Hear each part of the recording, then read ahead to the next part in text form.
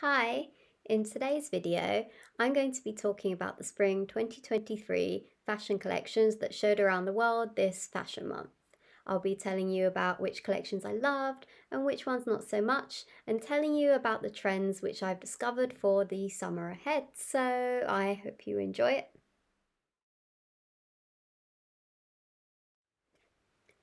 Dior. So, one of my favourite fashion houses. I love Maria and I loved her when she was at Valentino. On another note, I thought that Valentino's collection without her was a bit disappointing and boring. She's such a good designer and I love what she's done since joining Dior. She's taken that iconic brand and she's really made it her own. She's made it really youthful. It doesn't feel kind of like dowdy like some of these big fashion houses could be. So, yeah, another hit for me this year. She kept to a muted palette of black and white and cream. Now, if you know me, you know that I'm a really colourful person.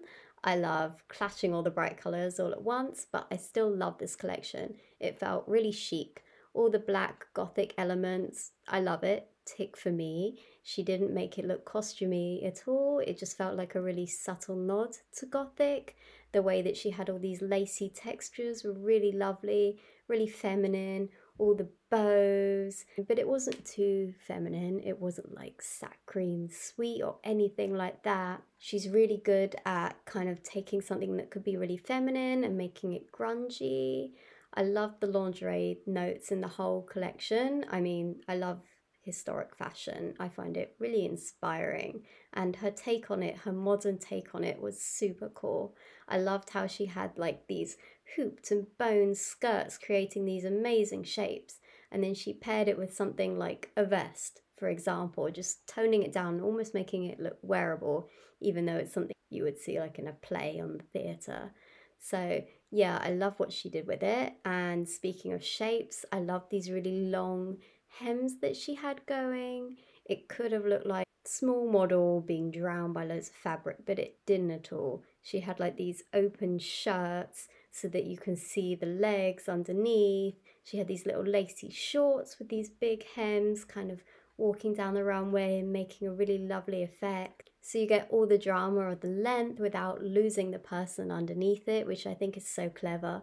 She has this way of just creating really good shapes. She had these really cool sporty jackets that didn't feel too sporty. I'm not a massive fan of sporty fashion, but it didn't feel like that at all. It was just kind of like girly and cool and it was just yeah it was great. She just she always gets the balance perfect and it feels still really designer and high end something that feels expensive which at the end of the day it is. It's a runway show. If you would like to hear what I actually thought about the collection as it went down the runway you can watch me react to a runway video from Dior. So go check that out Okay, Kenzo. So this isn't a brand that I usually love, but I'm always open-minded and I'm always clicking every designer collection when I see it on Vogue.com. This season they really blew me away. It just felt really me and my taste. I love a sailor collar, always have, always thought it was really cool. And I really like how they took that sailor theme and they really played with it, incorporating it into suits. They really elevated the suit. They had it in loads of checks and tartans, which I love, one of my favorite fabrics. And they added the sailor collar, so it was just ticks everywhere for me. It had this really cool preppy feeling to it, but really colorful and quite joyful, even though it was like suits and stuff like that. I also really love a theme and I liked that it was super clear and they just did so many iterations of different color collars and different colored tartans and like different takes on sailor and it just yeah it was great. It was super playful, and I would just love some of those pieces.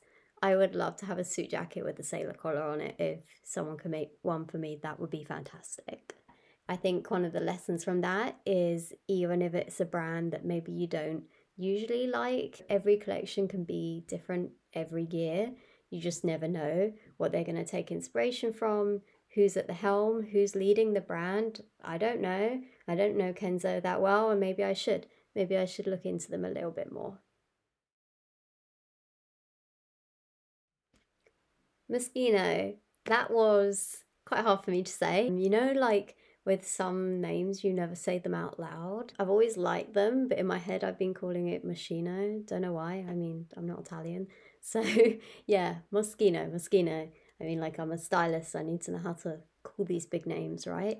Um, but yeah, anyway, sidetracked. Yeah, loved it. Always love it. I always love Jeremy Scott as a designer because he is what high end fashion is all about for me.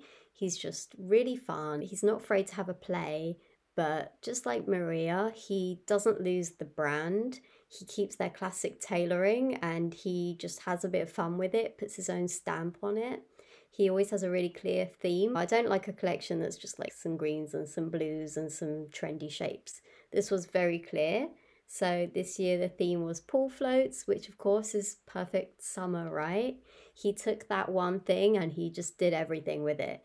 He did big details and small details. He had like little blowy things on the corner. He had like whole sleeves of it. He just, yeah, he really went to town with it. It just felt really joyous and a real celebration, which he always does. It's a collection that just makes you smile. But it didn't feel costumey and it didn't feel unwearable. You know, I couldn't wear it like everyday person but I'm sure I might see someone or like I don't know a celebrity on a panel show with some kind of like teeny little pool float. that would be really cool. Another hit for me from Jeremy Scott and as always I always know when I'm in safe hands when I'm watching those collections and I look forward to next year as always. Jeremy, do something fun for me.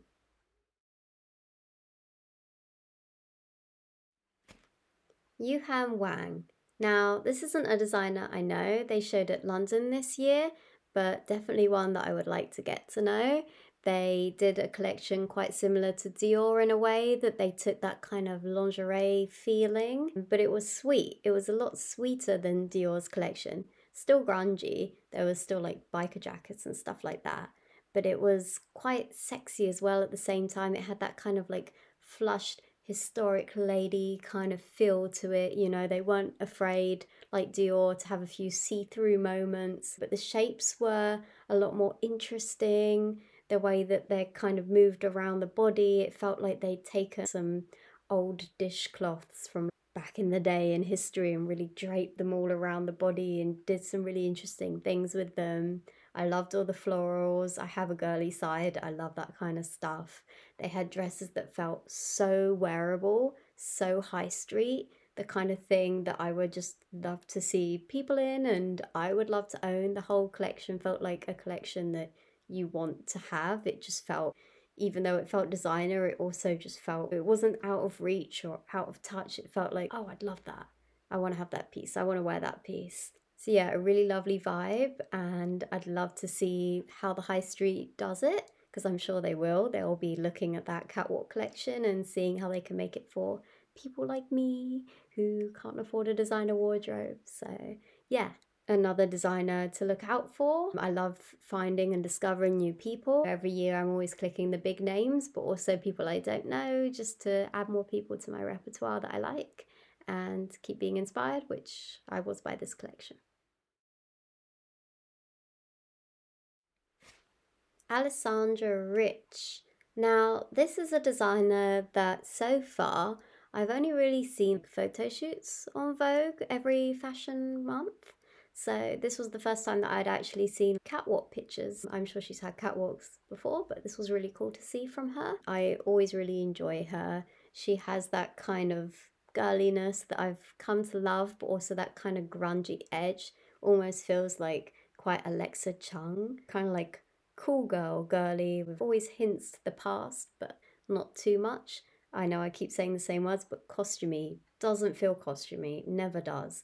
Always feels like here's a modern take on the 40s or something like that. She does that so, so well. But she makes collections that you feel like you could have in the high street, quite similar to Yuhan Wang. She makes these kind of dresses that you're like, oh, that feels like something that Topshop would have done, elevated, like a high end version. It feels like the kind of thing that you could easily see a celebrity in, and I would love to see a celebrity in just in their day to day rich people fancy life. if I were a rich fancy person, then this is a brand that I would have because it's just so wearable, but also just so worth it because it feels really special. She had this really lovely noughties nod, which all the cool people are doing nowadays because 20 years has passed and the noughties is cool but it wasn't too much. Like some of the collections have gone really all out with it. Here it is, here's the noughties, But she's like, here's some of the noughties. She also had some of the lingerie nods like the other collections did, um, but it felt like a dress you would see in Bershka. Do you know what I mean? It felt like just really normal, wearable, but still really pretty, very sexy as well. It felt like the kind of dress that you want to wear out on a date. Very inspiring, very havable.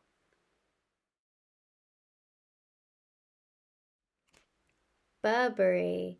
So, this was an interesting one because I didn't know it was going to be Riccardo's last collection with them. I mean, no one knew. It was kind of like a surprise. Like, he showed the collection, then a few days later, suddenly someone else is taking over, which is going to be sad because I really love what he was doing with them, but I'm sure he's on to greater things. I'm sure he'll take over some big other fashion house. So, I'm really excited to see what he does next.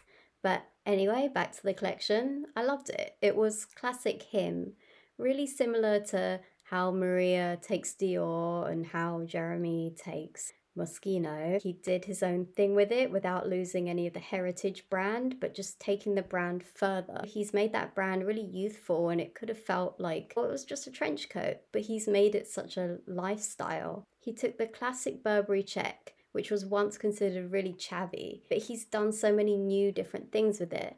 This year he took the check and he enlarged it and he darkened it and he played with what fabric it was. It was all sorts. I really loved all these kind of like full body suits, lace, and all sorts of different textures. He's really good at textures. He's really good at kind of grungy layering. I love layering, you know, I love like a kind of strappy thing over a long sleeve thing, and he did that so well. And I also love with the layering how he had a lingerie slip dress and it was over another dress. Who does that? That feels kind of crazy to me, but it didn't look crazy at all. It just looked really edgy and really new and modern and interesting. And I'd love to go and do that myself now because it just looked awesome. It created this really fun shape of two hemlines, which was just so next level in my head, even though it's something so simple and it just yeah it could have looked really weird but it didn't. So i'm really interested to see when people start street styling and having a play with that themselves. The lingerie elements that i keep seeing i loved it. Loved all the lace i loved all the colors i loved all the cutout i loved that mix that grungy mix. I keep saying it but i love mixing like a grunge and a femininity together. He did that perfectly Erdem. So, really lovely British brand I've loved for quite a few years.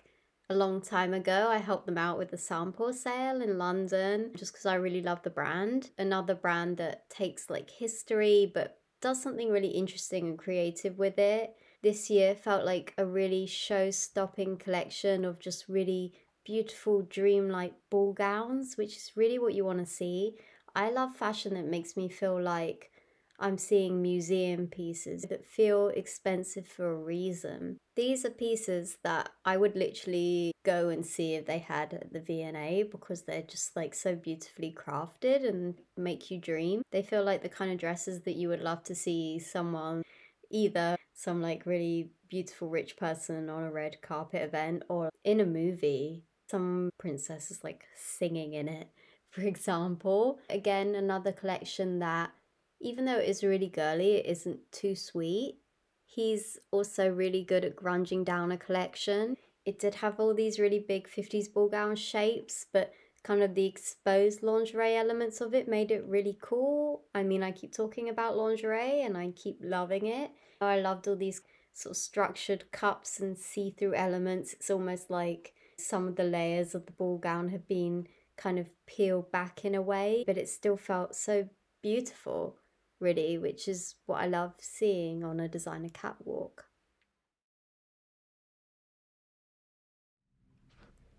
Versace. So, this isn't a brand I thought I would be talking about because It's one of those ones where when you see someone in that scarf print, you know, that like silky print, I don't like it. It's a little bit kind of trashy in my opinion, but her runways recently haven't been. In the past, I didn't enjoy her runways, they always felt a little bit too much. This one, it was another really good one from her.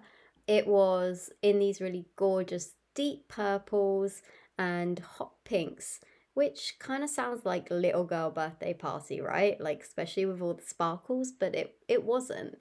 She was another designer that took the kind of gothic elements and she played with the lingerie elements again. So there was lots of black in there as well, kind of toning down those deep jewelry type colors. And all the lace was really feminine, but also again, she made it grungy. She made it really cool, which is surprising. The gothic elements weren't costumey. I hope that no goth would be offended seeing that collection because I thought it was really cool. Maybe she brought it to the mainstream a bit.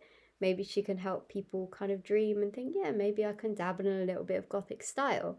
I personally think gothic style is awesome and I'd like to dabble in it. She was also another big fashion house that had a celebrity appearance, and I'm not mad at it. I love Paris Hilton. I just think she's so much fun and you know she sends herself up. She doesn't take herself too seriously. She knows that she's iconic.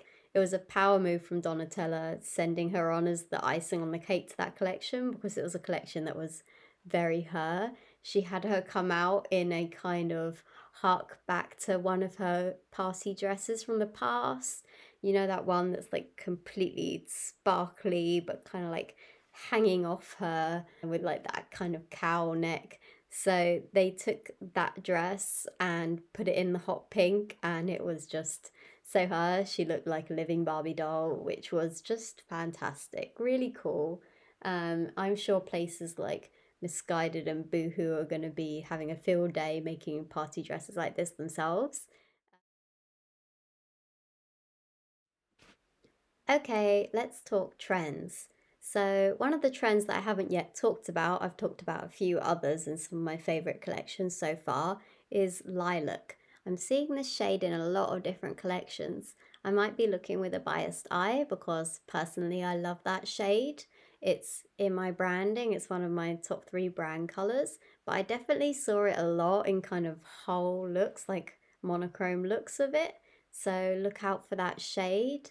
I'm sure it's going to be in all the shops because it's really easy to do. I also think there's going to be a lot of really pale pink and that kind of minty color and because of the kind of Barbie core trend coming in, I think there'll be a lot of really pastely colors and hot pinks, so look out for those. But also the gothic trend means there's going to be a lot of black in the shops as well in contrast to that. So it's like Barbie or black or both, really. Have a bit of fun with it. But I think we'll definitely be seeing gothic elements and kind of black and lacy item. Maybe not like spiky necks and fake mohawks. But definitely we're going to be seeing that kind of girly, dreamy, witchy, gothicy style, which isn't going to feel too much or too costumey. I think it's going to be a subtle nod that we're going to see in the summer next year. So prepare to be very hot in black. As I said before, a lot of my favorite designers are doing the lingerie trend. Last year we were seeing a lot of the corset and it's definitely here to stay. The hoop skirt thing, I don't think is going to catch on. I don't think you'll be seeing a hoop skirt in Primark, but definitely more of the slip dresses and the cute lacy shorts and the corset, which you'll be wearing over a shirt. Have a real play with the innerwear as outerwear trend, how you pair it together, that kind of thing. Maybe look at when people are wearing pajamas as outerwear how can you take your more lacy lingerie items and wear them as outerwear too? Speaking of layering as well, I think we're going to be seeing skirts and dresses over trousers. I saw it in a lot of collections. I think it's definitely because of the noughties resurgence that we're getting. As I said earlier, every 20 years an era comes back and becomes cool again, and the noughties definitely isn't going anywhere. So we'll definitely be getting some of the noughties layering like the skirts over bottoms. Maybe you've got that lingerie slip dress over a pair of jeans, like we used to do in the noughties. Experiment, express yourself. Speaking of that, I saw a lot of fun elements in the collections, and I think that really helps because we're in an era now where people aren't afraid to have fun with their fashion and their looks. I think they're going to be fun, subtle elements, though, not anything too out the ordinary or bizarre, but just nice little details. You'll be probably seeing some really fun buttons. Maybe you won't be seeing a Jeremy Scott pool floaty, but maybe you'll see the heart shapes as a detail on a jacket or something like that. And there was a lot of the heart as well I was seeing. Maybe I was looking for it because as you know I am always looking for fun elements, but I was seeing it more and more. I was seeing heart cutouts and heart details put into the shape of the clothing. You'll probably see that a little bit. I don't know how they'll do it. Maybe you'll be seeing like heart kind of in the shoulders or in the sides or whatever. I think they're I think there will be hearts in the summer. I'm calling it, I don't know, but just my prediction because I saw it on the runway and I think it's definitely very doable in the high street.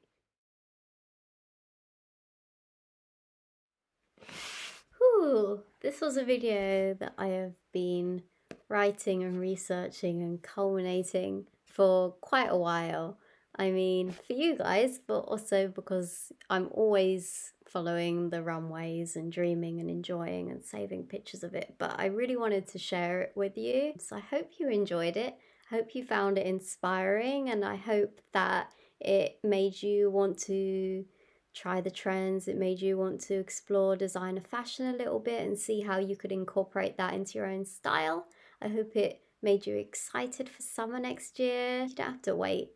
If you want to wear lilac now, or if you want to express your gothic style now and have a play with your lingerie, no one is stopping you. I'm just telling you what I saw and what I predict for next year. So, yeah, I hope you enjoy it. If it's good, then I'm sure I'll be making this next fashion week, so stay tuned.